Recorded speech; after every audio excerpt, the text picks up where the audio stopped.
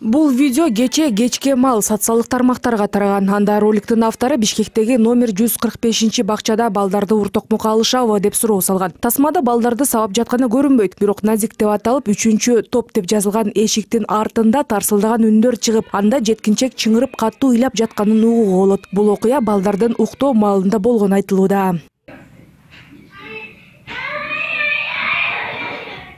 бул видео чындыгында эле бишкек шаарындагы бөкөнбаев көчөсүндө жайгашкан номер жүз кырк бешинчи мектепке чейинки билим берүү мекемесинде тартылган экен баланын ыйлаганы угулуп жаткан орто топто төрт беш жашар балдар тарбияланат экен ал жака элүү төрт бөбөк катталган болсо бүгүн алардын кырк үчү келишкен алардын биринин да ата энеси бала бакчанын тарбиячыларына дооматын арткан жок дейт мекеменин жетекчилиги директору гүлнара ибраева видеодо үнү чыгып жаткан аял аларда тарбиячынын жардамчысы болуп иштерин билдирди ошол күнү ал башка бирөөнүн эмес өзүнүн биринчи класстагы кызы мектептен кечигип келгени үчүн урушканын айтууда түшүндүрүп атат мен деген кызым келбей койду он бир жарымда биринчи часткы кыз аябай жүрөгү түшүп калды да эне болсо өзү кичинекей кыз болсо анан бирде келип калды дейт анан мен каякта жүрөсүң деп баягы эмоцияга берилип кетти да өзү эмоция берилип кетти буруштум бирок мен сабайм деп жанагы үндөр чыгып атпайбы мындай чапкалаганчы ал деген жана тапочкени алып алып мындай столго у нас такие скамеечки есть балдар отурат ошол жерге чапкылап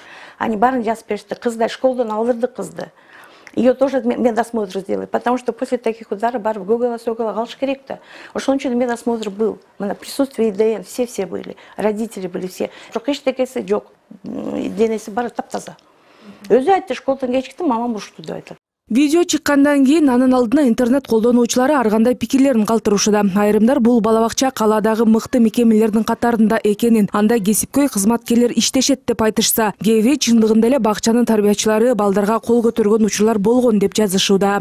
Биз мурда бул бала бакчага барчубуз. Тарбиячынын жардамчысы балдарды урчу ал жакта балдарды чындыгында эле урат кызымды бергем. Бир эки жума баргандан кийин ыйлай баштады. Кийинчерээк билдим балдарды урушаарын. Кошунамдын баласы да ушул жакка барат эле. Ал денеси көк ала болуп келчү. Мен билим берүү министрлигинин ишеним телефонуна чалып айткам. Алар териштиребиз дешкен.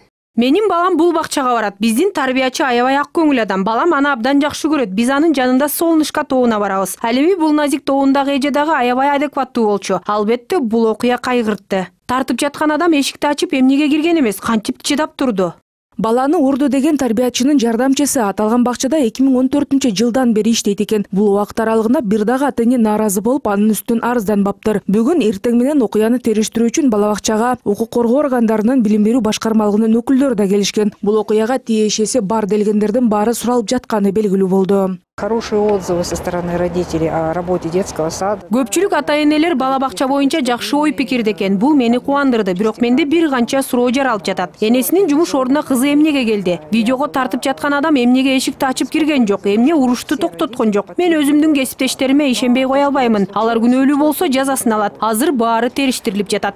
Сиз эмне кыла аласыз? Мени кылам басып кир десем сен эмне кыла аласың мага эмне кыла аласың? Деп жаш кыздарды тилкетет мени? анан ошондо мен чаптым ана шынымды а мен чапсам мына колумду улам улам қармағым защита кылат да любой адам өзүн қорғайды мен ішке соқсам эле тептим бишкек шаардык билим берүү башкармалыгы борбордогу номер токсон төртүнчү мектептеги тогузунчу класстын окуучусу менен мугалимдин ортосундагы окуяны да териштирип жатат. Интернетте тараган видеодо жалгыз бой эне педагогдун эмне себептен кызына кол көтөргөнүн сурап жатканын көрүүгө болот. Анда ал окуучуга кол көтөргөнүн моюндап жатат. Бул боюнча иликтөөдөн кийин гана ага карата кандай жаза каралаары белгилүү болот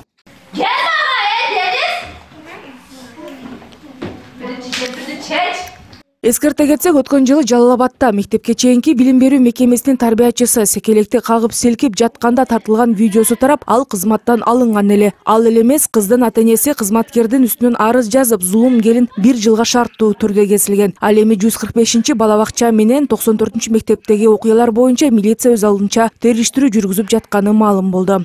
Рахат жаныбекова александр симонов нтс